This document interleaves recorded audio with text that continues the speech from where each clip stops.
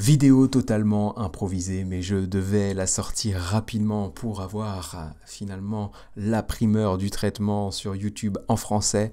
GPT-4, GPT-4, appelez-le comme vous voulez, est sorti, est disponible, vient d'être annoncé officiellement par OpenAI. Comment j'ai vu ça? Eh bien, je l'ai vu tout simplement sur Twitter. Vous avez une vidéo de présentation ici et effectivement sur le compte d'OpenAI, donc le compte certifié, vous avez un tweet qui vous annonce la sortie officielle de GPT-4 et qui vous renvoie vers une page de vente que je vais vous proposer de découvrir ensemble. Je vais pas vous mentir, j'ai déjà regardé un petit peu euh, ce qui se disait et euh, effectivement, du coup, ça va me permettre moi de vous ressortir les points clés de la page de vente et on va voir effectivement qu'il y a des confirmations par rapport à ce qu'on a pu entendre il y a euh, une semaine maintenant, ces derniers jours, à propos de GPT-4. Mais on va voir aussi que ça va peut-être bien plus loin que ce qu'on pensait. On va pouvoir creuser tout ça ensemble. Donc, euh, pour tout vous dire, effectivement, je suis arrivé sur la page de vente, donc vous connaissez maintenant hein, le tips, hein, vous êtes sur Google Chrome, la page, je vous mettrai le lien en description, est en anglais, mais vous faites clic droit, traduire en français, et vous aurez effectivement une traduction qui vaut ce qui vaut, mais qui permettra peut-être pour les personnes qui ne parlent pas anglais de bien comprendre ce qui est dit sur cette page de vente. Et très honnêtement, c'est là où on voit que la page de vente, la page de vente pardon, est bien foutue, c'est qu'effectivement on arrive et qu'on voit le call to action, le bouton d'appel à l'action, essayer ChatGPT+. J'étais pas abonné ChatGPT Premium parce que les gens qui suivent ma formation le sauront, ma formation automatisée à ChatGPT, mais effectivement, on n'a pas besoin aujourd'hui du premium pour créer du contenu avec ChatGPT, on pouvait s'en passer, mais pourquoi je me suis abonné? Eh bien tout simplement parce que j'ai FOMO, Fear of Missing Out, j'ai eu peur de louper effectivement... Euh, euh, l'adoption de GPT-4. Pourquoi? Parce que rappelez-vous, hein, vous avez peut-être déjà regardé ça, mais si vous allez effectivement sur Upgrade to ChatGPT+, si vous n'êtes pas membre, euh, membre premium de ChatGPT, on vous met effectivement euh, le prix, donc à 0$ ce que vous avez, et à 20$ par mois ce que vous aurez. Et vous voyez ici, on a la priorité, un accès prioritaire aux nouvelles fonctionnalités de ChatGPT. Donc là, je suis assez sûr maintenant que GPT-4 va être disponible dans les prochaines heures, voire les tout tout prochains jours, mais je pense que ça va jouer là dans les prochaines heures, prochaines heures, pardonnez-moi, mais il sera accessible uniquement aux membres plus de ChatGPT, donc ceux qui payent un abonnement de 20 dollars par mois. Donc c'est la raison pour laquelle moi je me suis abonné. Et donc maintenant, effectivement, bah, on arrive sur la page de vente, on a un titre euh, vraiment optimisé copywriting ici pour nous inciter à l'utiliser, mais en gros ils vont nous dire qu'effectivement GPT-4, eh bien c'est le système le plus avancé, donc plus avancé que GPT-3, ce qui est assez logique, produisant des réponses plus sûres et plus utiles. Donc voilà pour, euh, pour, pour la capture. Ensuite, euh, bah, je vais vous proposer de regarder un petit peu la vidéo, mais je vais essayer d'aller euh, très très rapidement finalement vers les informations qui nous intéressent.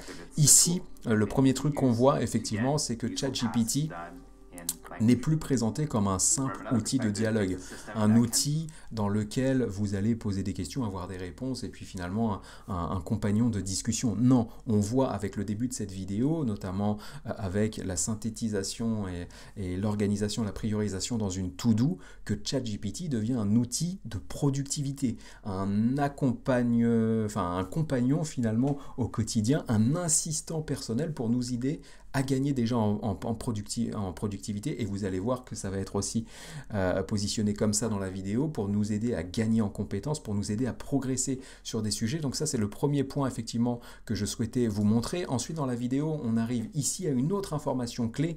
Vous avez sans doute vu sur Twitter euh, les informations euh, passées. Hein. si vous regardez un petit peu sur à la une, il y, a, eu des choses qui ont été partagées comme ça, nous annonçant que ChatGPT, voilà, c'est le visuel que je voulais vous présenter, mais que GPT GPT-4 allait être 500 fois plus puissant que GPT-3. Donc effectivement, là, on a l'information dans la vidéo de présentation de GPT-4, c'est qu'aujourd'hui, ChatGPT est capable de formuler des réponses allant jusqu'à 3000 mots, ce qui est déjà énorme, mais demain, GPT-4 nous permettra de générer des réponses allant jusqu'à 25 000 mots. Donc voilà, je ne sais pas si vous vous rendez compte de l'ampleur, mais finalement quand on regarde, euh, c'est la taille d'un bouquin tout simplement. Euh, j'ai rédigé un livre, euh, ceux qui me suivent le savent, il fait 217 ou 219 pages, il y a 50 000 mots dedans, donc voilà, on peut dire, voilà, 25 000 mots, c'est grosso modo un livre de, de 100-120 pages, ce qui est énorme. Donc voilà, on va vraiment pouvoir faire des choses importantes en termes de création de contenu ici, et l'autre point clé que je souhaitais vous présenter, eh bien, c'est l'aspect multimodal de GPT-4. Ça, c'est des choses que vous avez vues effectivement passer aussi dans les tweets. Alors, je ne sais pas si je vais retrouver, je ne vais pas m'attarder là-dessus pour euh, retrouver ça. Voilà, j'ai un tweet ici intéressant sur le côté multimodal, mais c'est des choses que vous avez sans doute vu passer euh, ces derniers jours sur GPT-4. L'information euh, principale qui est sortie finalement, c'est que GPT-3 aujourd'hui n'était capable de comprendre et de traiter euh, et de répondre que sous forme de texte. Donc ça, c'est l'information qu'on avait. Demain, euh, on, nous disait que GPT-4 allait être multimodal. Pour ceux qui ne savent pas ce que ça veut dire multimodal, c'est le terme qui, a pas mal, euh, qui est pas mal sorti ces, ces, derniers jours, ces dernières heures. Et eh bien multimodal, ça veut dire finalement multiformat, que vous allez pouvoir, finalement, que l'intelligence artificielle va pouvoir traiter et sans doute créer des contenus dans différents formats. Donc on y dit du contenu audio, du contenu vidéo et du contenu texte. Et là, l'information a été officialisée par GPT-4 ici. Vous voyez qu'on demande à ChatGPT, euh, qu'on pose une question à ChatGPT qui est basée sur une image. Donc en fait, ChatGPT va être capable de comprendre l'image et va être capable de nous répondre, de répondre à la question par rapport à l'image que nous lui avons transmise. Donc là, ici, on a une image de ballon de, sans doute centaines ou milliers de ballons qui sont tenus par une ficelle accrochée à un banc. Et la question qu'on va poser à ChatGPT, c'est bah, ChatGPT, euh, par rapport à cette photo, euh, qu'est-ce qui se passerait si on coupait finalement la ficelle? Et donc vous allez voir effectivement ce qui se passe derrière, c'est que ChatGPT va être capable de comprendre que si on coupe effectivement la ficelle, les ballons vont s'envoler. Et donc ça c'est quand même un truc important, c'est que par rapport à ce qu'on a pu lire, ça va bien plus loin euh, que voilà les informations qu'on a pu avoir ces derniers euh, jours c'est que ChatGPT ne va pas se contenter de comprendre une image et de la décrire. Ça, finalement, il y a déjà des outils qui le font et Google, avec ses technologies, le fait déjà. Ce qui va se produire, c'est que ChatGPT est capable de comprendre l'image et donc de comprendre ce qui pourrait se passer s'il y avait des péripéties dans cette image. Donc voilà, c'est quand même un point qui est, hyper important et qui donc va ouvrir forcément de nombreuses portes en termes de créativité, mais surtout en termes voilà, d'outils euh, au quotidien. Donc ensuite, j'essaye de retrouver des informations euh, qui étaient intéressantes. Donc là, j'imagine qu'on voit toutes les qualités. Voilà, je vois. je sais pas si je vais réussir à retomber sur l'écran voilà, que j'ai ici, mais effectivement, il va y avoir euh, pas mal de choses, euh, voilà, par rapport à ChatGPT. Un point qui était important dans ce que je voyais ici. Donc voilà, vous regarderez hein, la vidéo, mais ce que ce que disait hein, la personne que j'essaye de, de, de, retrouver ici, mais vous la voyez dans les dans les miniatures. Hein. C'est pas forcément simple de retomber sur, sur son image ici. Voilà cette personne. En gros, ce qu'elle explique, c'est que ChatGPT 4 euh, sera aussi plus sécurisé. C'est quand même un point important pour OpenAI de faire en sorte que GPT-4 euh, que ChatGPT finalement ne sorte pas du contenu qui soit du mauvais contenu, du contenu non autorisé, et on verra un petit peu plus loin que la sécurité a été améliorée euh, dans euh, GPT-4, et donc en fait on va voir effectivement voilà, les, les, usages qui vont être contrôlés, donc effectivement les données privées, du contenu indésirable et même du contenu publicitaire, tout ça, ça va être effectivement évité. Et l'autre point qui était intéressant, et c'est vraiment ici, bah voilà, je suis sur une bonne page puisqu'on parle d'humain. C'est vraiment euh, l'idée de dire que GPT-4 n'aura d'intérêt euh, que si l'humain l'utilise correctement. Donc correctement, ça veut dire effectivement de, la bonne manière, de la manière gentille, de la, manière bien, on va dire, mais surtout euh, euh, l'utilise aussi de manière stratégique, de, manière réflexive, finalement, enfin, en, étant euh, très efficace dans son, utilisation. Donc en fait, ce que je veux dire par là, c'est que euh, il faut bien comprendre l'intelligence artificielle pour l'utiliser correctement et donc avoir des résultats qui soient significatifs. Puisque finalement, ce qu'on disait précédemment que GPT-4 allait être 500 fois plus fort que GPT-3, c'est bien, mais finalement, à nos échelles, avec nos niveaux de connaissances, on utilise peut-être que déjà 10, 15, 20%, j'en sais rien, de GPT-3. Et donc, si c'est 500 fois plus, ouais, peut-être, mais nous, on n'utilisera pas finalement la puissance qui, qui apparaît euh, ici. Donc, il va falloir qu'on monte aussi en compétence sur ces, euh, sur ces euh, sujets. Et il y a un autre point que j'avais bien aimé dans la vidéo que je vais essayer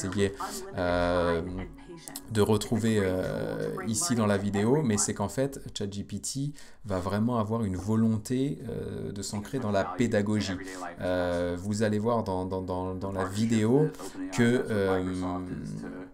finalement, ils ont fait, enfin que leur volonté, c'est aussi que ChatGPT devienne un professeur dans n'importe quel domaine d'activité, dans n'importe quel domaine de compétences. Et l'exemple qu'ils prennent dans la vidéo, et je ne sais pas si je vais réussir à le retrouver ici, peut-être pas, mais en gros, ce qu'ils disent, c'est qu'aujourd'hui, GPT-4 pourra être un prof de maths qui sera à notre disposition, mais il n'aura aucune limite de temps, il sera à notre disposition autant de temps que nous le souhaitons. Et donc ça, ça va être valable dans tous les domaines. Vous souhaitez monter en compétence, l'idée d'OpenAI, c'est aussi de faire en sorte que ChatGPT soit cet outil qui va vous faire monter en compétence pour ce qui nous concerne à nous sur la chaîne notamment, le marketing, la prospection, l'automation, etc. Vous souhaitez vous former sur ça, et bien la volonté d'OpenAI, c'est que vous puissiez progresser finalement avec GPT fort en posant des questions, mais en faisant peut-être aussi en sorte que la techno vous aide à creuser les bons sujets et à les creuser dans le bon ordre. Donc là, ça c'est un point qui va être assez intéressant parce que ça peut modifier aussi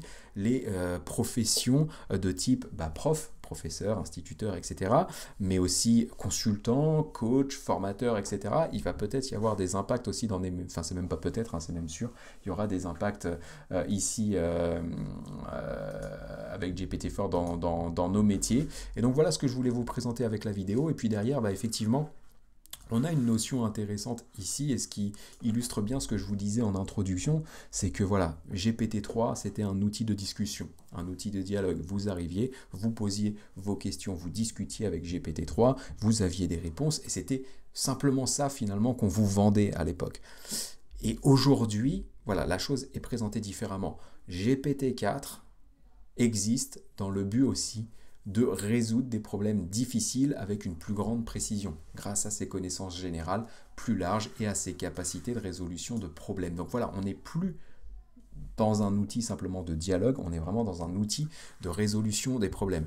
Et donc on voit effectivement que la créativité euh, sera euh, mise en avant, que les contextes, enfin que, les contenus plus longs aussi seront mis en avant. Voilà, c'est ce qu'ils disent ici, c'est que GPT-4 est capable aujourd'hui de euh, gérer plus de 25 000 mots de texte euh, voilà, bah, c'est qu'effectivement, on va pouvoir créer du contenu long, des conversations étendues et de la recherche et de l'analyse de documents. Donc ça, c'est quelque chose vraiment de très euh, puissant. Et finalement, voilà, effectivement, bah, GPT-4 surpasse ChatGPT. Là, on n'est pas surpris. Et on a un petit exemple ici que je vous laisserai euh, aller découvrir. Mais en gros, l'histoire, c'est qu'on a trois personnages trois personnes qui sont disponibles à certains moments dans la journée et on demande à ChatGPT de euh, trouver le bon créneau pour une réunion de 30 minutes où ces trois personnes seraient disponibles. Et en fait on voit dans le scénario euh, GPT-3 que bah, finalement il fait une réponse longue et en plus il se trompe et que euh, GPT-4 il fait une réponse très très synthétique mais qu'en plus il donne le bon créneau pour la réunion donc de 12h à 12h30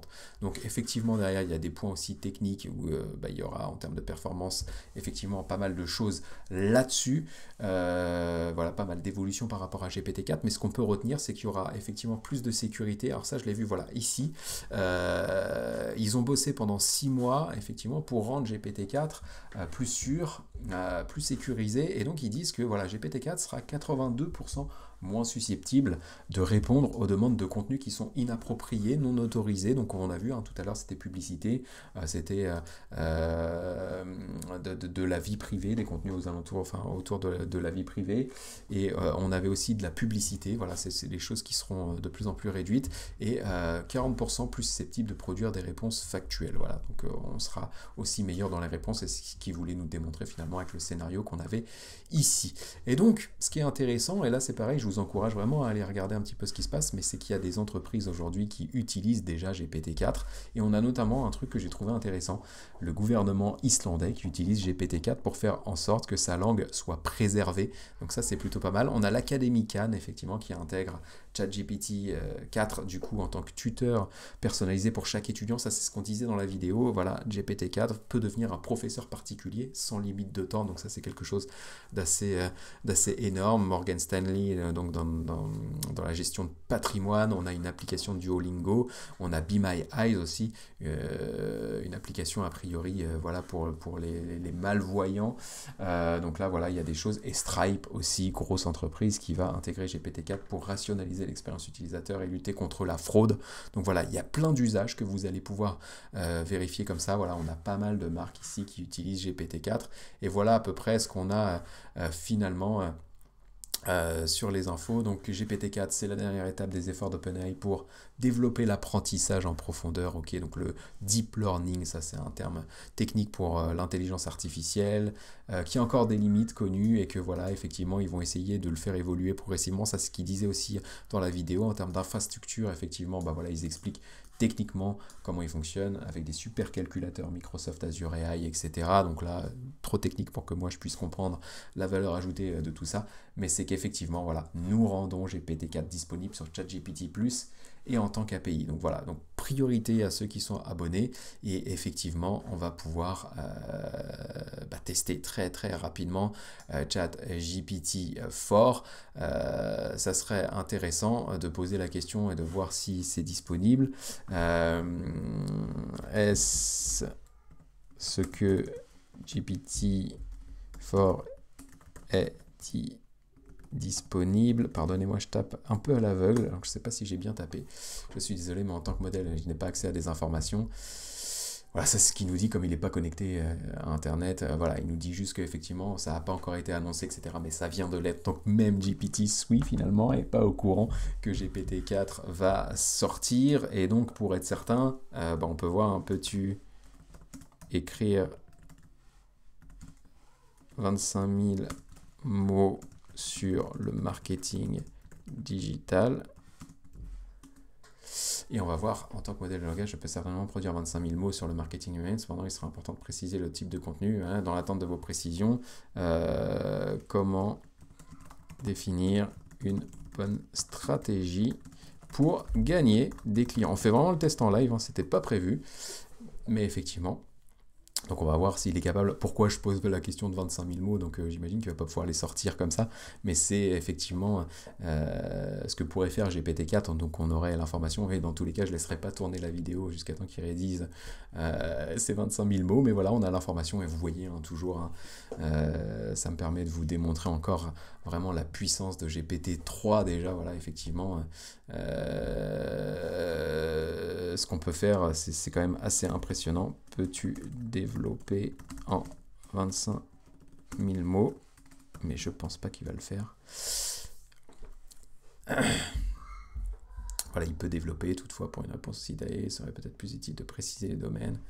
Voilà, effectivement, donc il faudra, faudra peut-être préciser un petit peu les choses. Pardonnez-moi, j'ai l'enfant qui pleure, c'est assez courant. Euh, si vous avez des enfants en bas âge, vous savez de quoi je parle.